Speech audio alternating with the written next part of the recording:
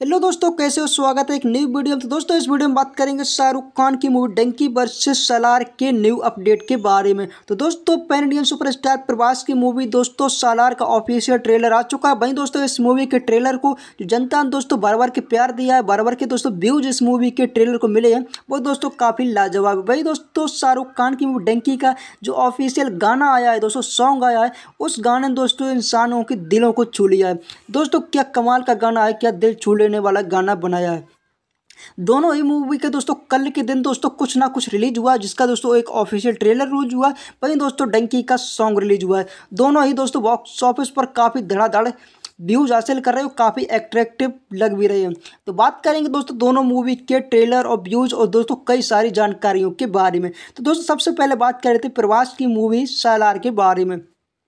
तो दोस्तों प्रवास की मूवी सालार का टीजर भी आ चुका ट्रेलर भी आ चुका। भाई दोस्तों, इस मूवी के ट्रेलर को जो व्यूज़ मिल रहे हैं, वो दोस्तों रिकॉर्ड तोड़ व्यूज़ मिल रही हैं।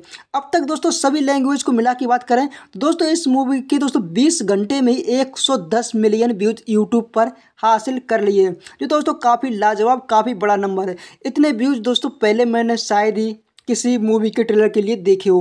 वहीं दोस्तों, इस मूवी का ट्रेलर भी काफ़ी खतरनाक है दोस्तों, जिसने भी देखा है, वो दोस्तों इस मूवी के ट्रेलर को के जी एफ़ के थ्रू मान रहा, वही दोस्तों ये मूवी ट्रेलर का कलेक्शन भी करेगी।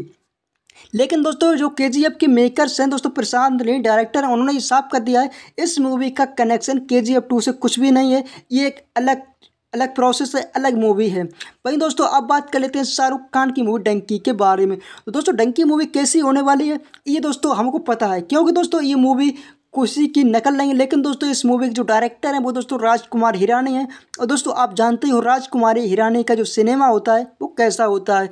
जिसकी जिसकी दोस्तों, आप पिछली किसी भी मूवी को देख सकते हो, चाहे दोस्तों थ्री इडियट पी के संजू लगेरो मुन्ना भाई या मुन्ना भाई एमबीबीएस दोस्तों, एक तो एक बढ़कर थी, एक तो एक ब्लॉकबस्टर थी।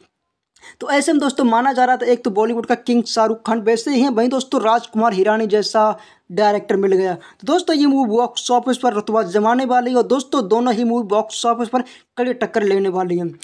वहीं दोस्तों, आपका क्या मानना है? दोनों मूवी के बारे में अपनी राय भी कमेंट बॉक्स में दीजिए। वहीं दोस्तों, अगर हमारी माने, दोस्तों, दोनों ही मूवी पहले दिन इंडियन बॉक्स ऑफ़िस पर, हालाँकि दोस्तों डंकी मूवी एक दिन पहले रिलीज़ होगी, जिसको दोस्तों डंकी को ज़्यादा फ़ायदा होगा पहले दिन की ओपनिंग लेने में। डंकी मूवी पहले दिन इंडियन बॉक्स ऑफ़िस पर सत्तर से अस्सी करोड़ रुपये की ओपनिंग ले सकती है। क्योंकि दोस्तों, शाहरुख खान की पिछली मूवी जवान ने ही पिछहत्तर करोड़ रुपये की ओपनिंग ली थी।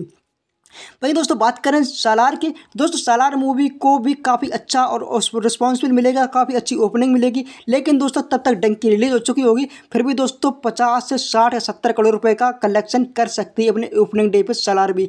वहीं दोस्तों, विदेशों की बात करें तो दोस्तों, विदेशों में शाहरुख खान और प्रभास दोनों की फ़िल्म फ़ोटो काफ़ी ज़बरदस्त है। तो क्या आपका मानना? बताइए कमेंट बॉक्स में दोस्तों, मिलते हैं किसी न्यू वीडियो में, किसी नई अपडेट के साथ। तब तक के लिए दोस्तों, धन्यवाद।